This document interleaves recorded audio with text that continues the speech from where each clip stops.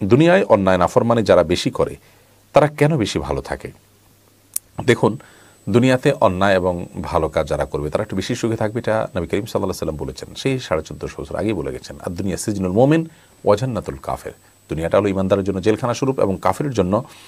এই দুনিয়াটা হলো আপনার জান্নাত স্বরূপ। এখানে যা সে করতে পারে, তার কোনো বাইন্ডিংস থাকে না। একজন ইমানদার, তিনি কোনো কিছু করতে গেলে হালাল হারামের যে বাইন্ডিং সেটা চলে আসে, আল্লাহর আদেশ শিশুদের যে বাধা সেটা এসে তার সামনে দাঁড়ায়। অর্থাৎ সব কিছু তিনি মনে চাইলে করতে পারেন না, জেলখানার মতো, বন্দি জীবনের মতো অনেকটা দুনিয়া আল্লাহ তালার কাছে গুরুত্বপূর্ণ কিছুই নয়।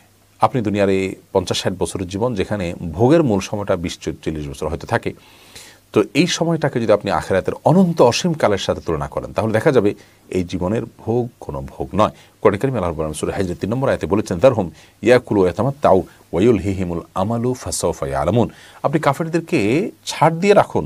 তারা খাক, তারা ভোগে লিপ্ত থাকুক এবং তাদের যে আশা, আকাঙ্ক্ষা, লোভ, লালসা এগুলোর মধ্যে তারা মত্ত থাকুক। অচিরে তারা জানতে পারবে যে তাদের পরিণতি কি হতে যাচ্ছে। দুনিয়ার ভোগটা এতটাই তুচ্ছ, দেখুন, ভোগ যেটা করে ফেলা হয়, আমরা যে খাই, যতক্ষণ আমাদের গলায় থাকে তখন আমরা স্বাদটা ফিল করি, যখন নিচে নেমে যায়, এরপর কিন্তু অনুভবটা থাকে না। খুব অল্প সময়ের ভোগের জন্য আমরা আমরা মনে করি যে তারা অনেক বেশি সুখ করছে। আখারাতের যে সুখ হবে, সেটা হবে অনন্ত অসীমকালের, সেটা হবে স্থায়ী এবং প্রকৃত সুখ।